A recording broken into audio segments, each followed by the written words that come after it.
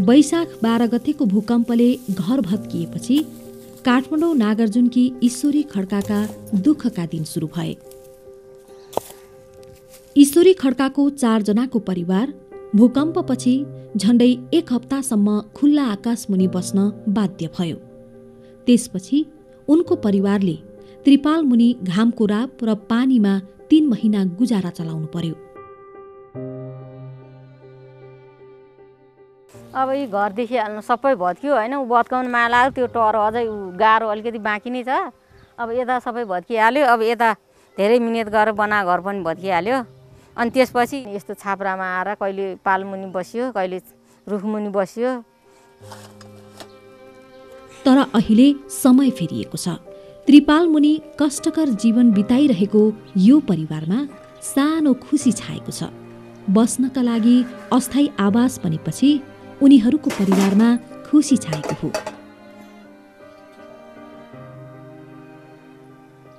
घर भत्किएपछि आफू पालमुनि बस्न बाध्य भयौँ।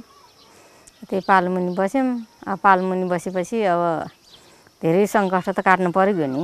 अब हुरी बदास पानी अब चिसोमा धेरै सङ्कट काट्यौँ। त्यसपछि अब यो लोगन्ती संस्थाले एउटा यो टहरो बनाइदिएछ। सुरक्षित भएर त्यसमा बसेका छौँ। अब अहिले चाहिँ यो बस्दै पानी चुइँदैन होइन? ओतमा बस्न पाइएछ भनौँ न। अहिले ओतमा बस्न पाइएछ ओतिया छ त्यति हो हामीलाई सबभन्दा खुसी त्यही हो। ईश्वरी खड्काको परिवार मात्रै होइन। काठमाडौँ नागार्जुनका भूकम्प प्रभावित बयालिस घर परिवारका लागि बनाइएको आवास सेल्टरले धेरैको मुहारमा खुसी छाएको छ। मलाई धेरै धेरै एकदम राम्रो लाग्यो। हालसम्म ललितपुर काठमाडौँ र भक्तपुरका भूकम्प प्रभावित त्रिपाल मुनि बस्न बाध्य समुदायलाई लक्षित गरी पाँच सय त्रिचालिसवटा अस्थायी आवास सेल्टर निर्माण भएका छन्। पालमा पानी परेर सबै भिजेछ। त्यही भिजे पनि ठाउँ समातेर डन्डी समातेर त्यहीँ बसेछ। सर्प पनि आउँछ किरा आउँछ पानी चुइन्छ हावा बतासले उडेर पानी चुहेर कता कता बोकेर ओछ्यान बोकेर हिँड्नु पर्यो। भात पकाउनलाई कुकुर आउँछ पकाउने ठाउँ छैन। धेरै दुःख भयो अहिले त धेरै सुख भयो। अहिले त मलाई सुविस्ता भयो नि घरै घरै भयो नि। खान नपाए पनि मलाई त एक साल खान पाए पनि खेता गयो भने त्यो घर भएको मलाई सुविस्ता भयो नि।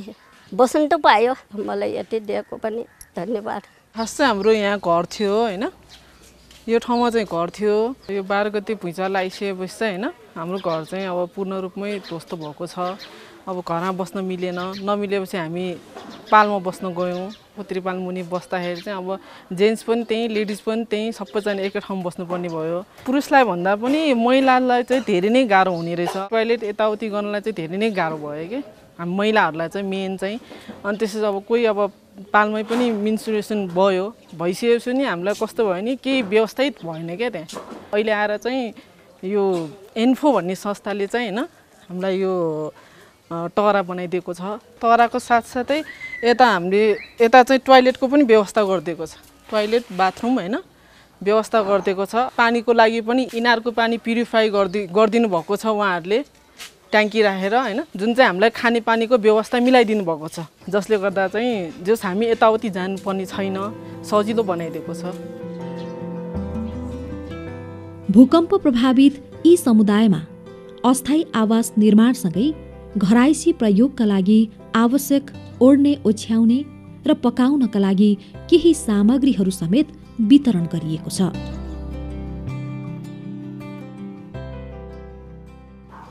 अब पैसाले त मेरो घर चाहिँ सबै भ्याङ आइ आइहाल्यो होइन। अनि त्यहाँबाट चाहिँ अब यो इन्फो संस्था आउनुभएछ उहाँले यो मेरो टर बनाइदियो।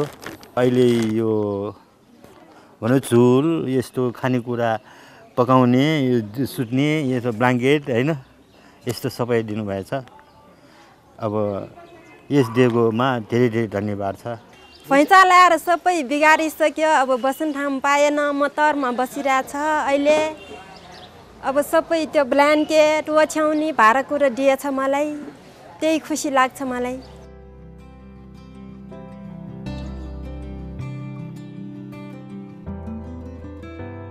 भूकम्पले घरसँगै धेरै शौचालयहरू पनि भत्किए।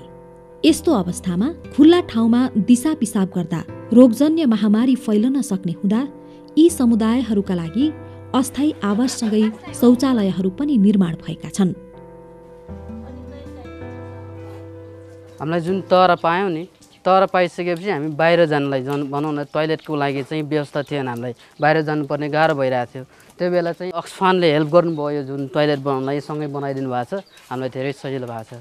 हाम्रो प्रयास चाहिँ यो सुरक्षित खानेपानी र उन्नत सरसफाइ पुर्याउनु नै हो। त्यसमा चाहिँ पनि हामी भूकम्प पश्चात हामीले के गर्यौँ भन्दाखेरि जति पनि घरबार विहीन हुनुभएको छ उहाँलाई चाहिँ अस्थायी शौचालय निर्माण गर्ने सबभन्दा पहिलो प्रयास चाहिँ त्यस पछाडि हामीले पाँच परिवारको लागि एउटा चर्पी भन्दाखेरि त्यसमा चाहिँ अपग्रेड गऱ्यौँ र त्यसलाई सेमी पर्मानेन्ट चर्पीमा हामीले त्यसलाई फेरि बनायौँ होइन? त्यस पछाडि हाम्रो अर्को कार्य चाहिँ के भयो भन्दाखेरि घरबार विहीन हुनुभएको मान्छे व्यक्तिहरूलाई चाहिँ आवासको व्यवस्था गऱ्यौँ। उहाँहरूलाई सुरक्षित आवास बनायौँ। त्यस पछाडि उहाँहरूलाई आवश्यक पर्ने चर्पीको निर्माण गऱ्यौँ। चर्पीलाई पनि हामी फेरि सेमी पर्मानेन्टबाट अब अपग्रेड गरेर चाहिँ पर्मानेन्ट शौचालयहरू बनायौँ।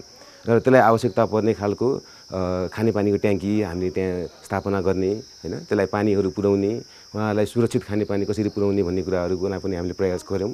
त्यसबाहेक चाहिँ हामीले उहाँहरूलाई नुहाउनको लागि बाथिङ युनिटहरू निर्माण गऱ्यौँ होइन?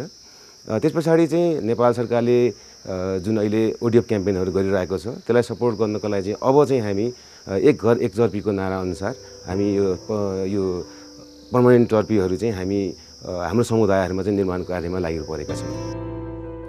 भूकम्पपछिको आपतकालीन अवस्थामा खुल्ला स्थानमा आश्रय लिइरहेका समुदायमा शुद्ध पिउने पानी र पिउस वितरण गरिएको थियो भने अहिले पनि समुदायमा शुद्धिकरणका तालिमसँगै पानीको गुणस्तर परीक्षणका कामहरू पनि भएका छन्। वैशाख बाह्रको भूकम्पपछि चाहिँ हामीले यो तत्कालै होइन जुन खुल्ला क्षेत्र र यो समुदाय स्तरकै सानो सानो जुन खुल्ला ठाउँमा चाहिँ नि बसेको होइन प्रभावित मानिसहरूलाई चाहिँ हामीले खानेपानी चाहिँ नि वितरण गऱ्यौँ र खानेपानी वितरण गर्ने क्रममा चाहिँ हामीलाई सजिलो के भयो भने हामीले चाहिँ पहिला नै निर्माण गरेर राखेको जुन ट्याङ्की थियो त्यो ट्याङ्कीबाट पानी र अम, यो प्राइभेट ट्याङ्कर एसोसिएसनसँग चाहिँ नि हामीले समन्वय गरेर त्यो पानी चाहिँ नि वितरण गऱ्यौँ र पानी पनि अब यो विभिन्न रोग व्याधि चाहिँ नफैलोस् भन्ने हिसाबले चाहिँ हामीले त्यो पानीकोलाई चाहिँ नि शुद्धिकरण गरेर चाहिँ वितरण गऱ्यौँ यो विभिन्न ठाउँमा यो ब्ल्याडर ट्याङ्कहरू टी इलेभेन ट्याङ्कहरू चाहिँ नि फिट गरेर हामीले राख्यौँ जसले गर्दा चाहिँ उहाँहरू तुरुन्तै त्यही नजिकैको ठाउँबाट चाहिँ पानी चाहिँ उपभोग गर्नु सकोस् भनेर हामीले त्यो वातावरण पनि तयार गरिदियौँ। र त्यसको लगायत चाहिँ नि अब हामीले भोलिन्टियरहरू मोबिलाइज गर्दाखेरि चाहिँ यो पानी शुद्धिकरण गर्ने विधिहरू क्याम्प क्याम्पमा गएर सिकाउने होइन अनि त्यसरी नै वितरण गर्दा पनि शुद्धिकरण गरेर चाहिँ वितरण गऱ्यौँ। भूकम्पबाट विद्यालयहरू समेत अछुतो रहन सकेनन्। भूकम्पले विद्यालयका भौतिक तथा खानेपानीका स्रोतहरूमा समेत असर पुर्यायो। यसका लागि विद्यालयमा खानेपानीको शुद्धता परीक्षणसँगै विद्यालय स्तरीय विभिन्न चेतनामूलक कार्यहरू पनि भएका छन्। यो भूकम्प पश्चात अब महामारी आउन सक्ने रोग व्याधि फैलन सक्ने विषयलाई लिएर एन्फो र अक्सफामले विद्यालयमा जनचेतना जगाउनेदेखि लिएर अनि पानी परीक्षण गर्ने खानयोग्य छ छैन परीक्षण गर्ने अनि त्यसपछि भाइ बहिनीहरूलाई चाहिँ विभिन्न अतिरिक्त क्रियाकलापहरू जस्तो हाजिर जवाफ भयो वक्तृत्व कला भयो चित्र प्रतियोगिता भयो त्यसबाट चाहिँ हामी स्वस्थ कसरी रहन सक्छौँ र खानेपानी अनि स्वास्थ्यमा आइपर्ने समस्यालाई कसरी समाधान गर्न सक्छौँ भने जस्ता यावत कुराहरू बारे चाहिँ एन्फो र अक्सफामले विद्यालयसम्मै आएर यसरी चाहिँ भाइ बहिनीहरूलाई चेतनामूलक कार्यक्रम गर्नेदेखि लिएर धेरै कामहरू गर्नुभएको छ। समुदायहरूमा खानेपानी सरसफाई तथा स्वच्छता प्रवर्धनका लागि टोल टोलमा सरसफाई घर दैलो कार्यक्रम तथा जनचेतनामूलक कार्यका लागि वास समूहसँगै महिला स्वास्थ्य स्वयंसेविकाहरू पनि लागिरहेका छन्। भूकम्प आएपछि त्यो सरसफाइको त्यो काम घर दैलो काममा गरिराखेको छु। त्यो घर घरमा गएर पानी त्यसै खाने हुँदैन त्यो पिउस राखेर खानुपर्छ। त्यो टोइलेट गएपछि अँ, हात धुनुपर्छ त्यो खाने बेला पनि हात धुनुपर्छ भनेर हामीले सिकाएको छु होइन? अनि उसले उनीहरू पनि गरेको छु भन्यो। भूकम्प पश्चात त हाम्रो अब यो यहाँ पुरा संरचना भत्किरहेको अवस्थामा पानीको मुहान पनि भत्किरहेको बिग्रिएको र खराब भएको अवस्थामा इन्फोले हाम्रो हाम्रो समुदायको लागि सहयोगको लागि बाइस्ट्यान्ड फिल्टर राखेर यहाँको समुदाय सबैको लागि त्यही अहिलेको यो यही बाइस्ट्यान्ड फिल्टरबाट पानी स्वच्छता पानी स्वच्छ गरेर यहाँको समुदायलाई पिउनु गरिरहेका छौँ अहिले। हामीले भूकम्प पश्चात यसरी यो वास कमिटी गठन गरिसकेपछि पानीका मुहानहरू सफा गऱ्यौँ। हामीले जुन पिउस राखेर पानी शुद्धिकरण गरेर यसरी पिएर भन्ने किसिमको सन्देश दियौँ र त्यही लिएको कारणले आजसम्म चाहिँ कुनै त्यस्तो चाहिँ महामारी किसिमको रोग कुनै मानिसमा देखा परेको छैन अहिलेसम्म। अक्सफामसँगको सहकार्यमा एन्फो र लुमन्तीले काठमाडौँको दक्षिणकाली चन्द्रगिरी किर्तिपुर नागार्जुन तथा टुँडीखेल भक्तपुरको ठिमी महामञ्जुश्री नगरकोट र चाँगु नारायण। त्यसै गरी ललितपुरको कार्यविनायक महालक्ष्मी र गोदावरी नगरपालिकामा नेपालमा भूकम्प प्रतिकार्य परियोजना अन्तर्गत यी कामहरू भएका हुन्।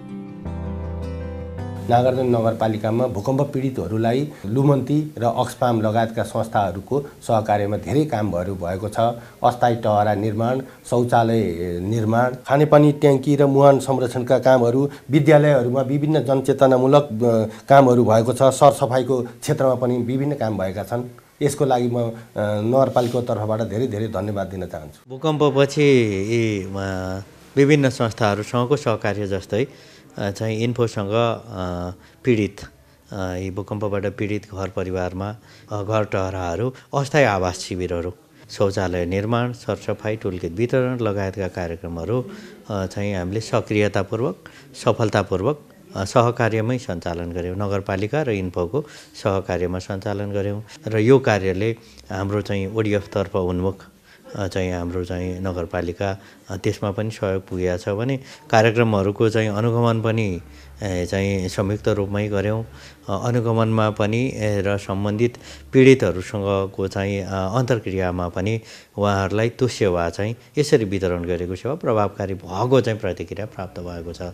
त्यसै गरी एकल महिला समूह र डिप्रोक्सले पनि भूकम्प पछिको आपतकालीन अवस्थामा समुदायमा विभिन्न कामहरू गरिरहेका छन्।